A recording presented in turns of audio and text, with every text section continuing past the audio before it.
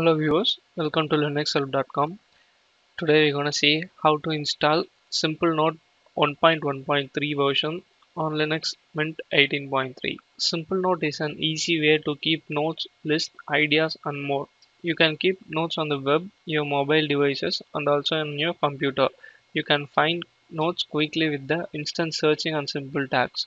And also you can share a list, post some instruction or publish your thoughts so they have released a new update 1.1.3 version. So let's see how to install it on a linux mint 18.3 in order to download the latest version go to the Simplenote official website.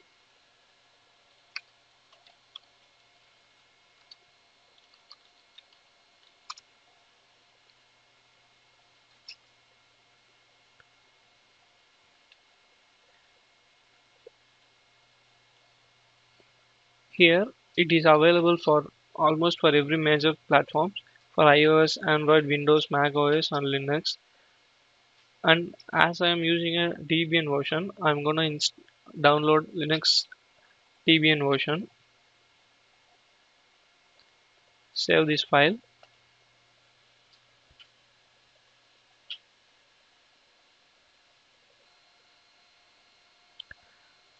now if you see the download has been complete. Let's proceed with the installation.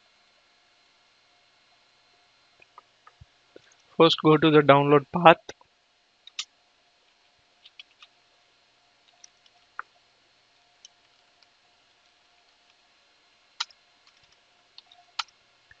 Here you can find the Simplenote debian package and you can install it using the following command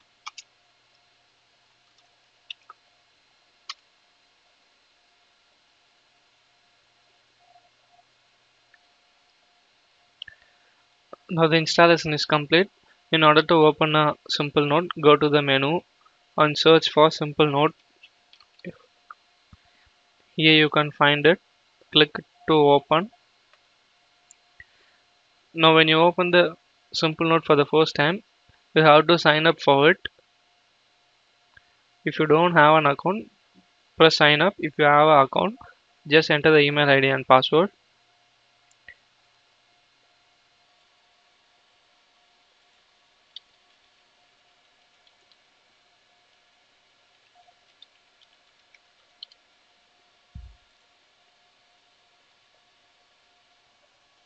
now Simplenote has been signed in and this is the interface of the Simplenote. You can add the note by clicking this new note button.